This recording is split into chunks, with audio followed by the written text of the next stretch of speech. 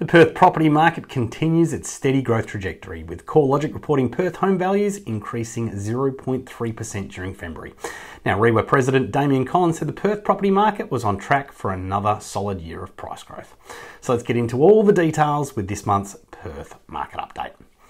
So, Mr. Collins said, REIWA members across Perth reporting strong market conditions. We don't anticipate the demand for property changing anytime soon, especially with borders set to open this week. Now, REIWA.com data shows Perth median sale house price was $525,000 in February. And Mr. Collins said, despite the strong market conditions, Perth still has the most affordable median house sale price of any capital city in the country. Now, in Sydney and Melbourne, their median house sale prices sit above a million dollars, pushing the dream of home ownership out of reach for many people. Now, we are lucky that owning your own home is still attainable for most people in Perth.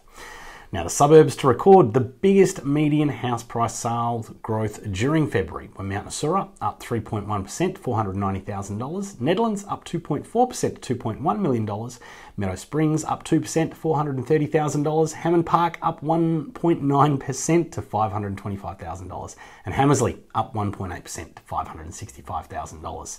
Now, other suburbs to perform well were Dawesville, Ocean Reef, Coolangup, Coolbellup, and East Victoria Park. There were 7,892 properties for sale on REIWA.com data at the end of February, which is on par with January and 13% lower than the end of November 2021. And Mr. Collins said, with interstate and overseas migration expected to increase considerably once borders open, we anticipate com- competition amongst buyers will intensify, which will put downward pressure on listing stock. Now, the median time to sell a house during February was 16 days, which is the same as January and three days faster than February 2021. REIWA.com data shows that the fastest selling suburbs in February were Tapping, six days, and Cool, uh, I should say, Coolangatta, Greenwood, and Harrisdale, all at seven days. Now, the suburbs to record fast median selling times were Carramar, Currambine, Bayswater, Atwell, and Craigie. Now, Perth's median rent price was 450 bucks a week during February, which is stable compared to January. And Mr. Collins said, "This is the third month in a row median rent prices have held at 450 bucks a week. It should reassure tenants that even though demand for rentals is strong, rent prices are not growing at unsustainable levels."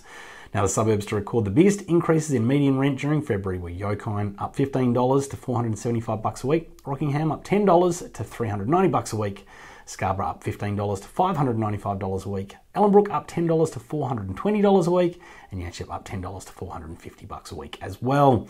Now, other suburbs to record strong increases were Aveley, Balga, Piara Waters, W, and Duncraig. Now, it took a median of 16 days to lease a rental during February, which is the same as January and three days faster than February 2021. And the suburbs that recorded the fastest median leasing times during February were Yanchep 12 days, Alkimos 13 days, Meadow Springs 13 days, Yokine also 13 days, and Byford 14 days. Now, other suburbs to experience fast median leasing times were Como, Maylands, Nedlands, Duncraig, and Queen's Park. And there were 2,319 properties for rent on REIWA.com at the end of February, which is similar to the end of January. Mr. Collins said, with borders opening this week, we are likely to see increased competition for rentals from interstate and overseas rivals who are competing with locals for accommodation. Now, this will exacerbate the rental shortage in the short term, but it is a necessary step towards increasing investment in the state, attracting skilled workers to help complete construction, and bringing balance back to the market.